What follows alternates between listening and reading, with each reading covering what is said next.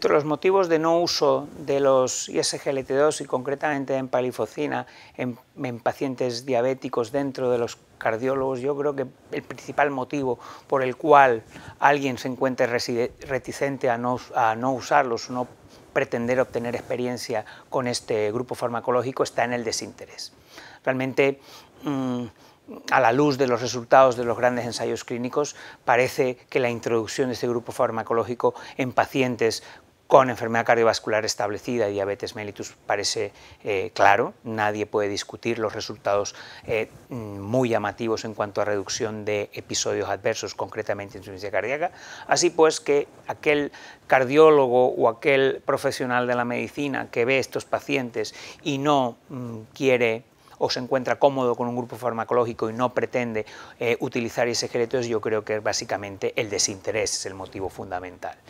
y como razones médicas, ¿dónde podría yo tener cierta precaución o cierto eh, recelo a la hora de indicar en un momento determinado eh, eh ISGLT2? Pues podrían ser, podrían resumirse en unas cuantas, en unas cuantas eh, causas, ¿no? Por ejemplo, en pacientes diabéticos con muy mal control metabólico en ese momento, paciente que todos sabemos que tienen riesgo de cetoacidosis, entre ellos fármacos que pueden producir o desencadenar la cetoacidosis están los ISGLT2. Sí, pues en este contexto clínico muy particular valdría la pena eh, eh, este paciente eh, controlar la diabetes, controlar, normalizar ese control metabólico y en ese momento sería un momento prudente para el inicio de ISGLT2. Otro escenario clínico que probablemente está infravalorado en los ensayos clínicos es, los sujetos, especialmente mujeres, con infecciones urinarias de repetición, especialmente si estas infecciones urinarias han llevado al ingreso hospitalario o infecciones graves o en algún caso sepsis. En ese escenario yo sería eh, bastante prudente, no estoy diciendo que no lo pautaría, pero sí probablemente eh, eh, indicaría, seleccionaría muy bien qué tipo de pacientes y probablemente podría sugerir algún tipo de medida profiláctica.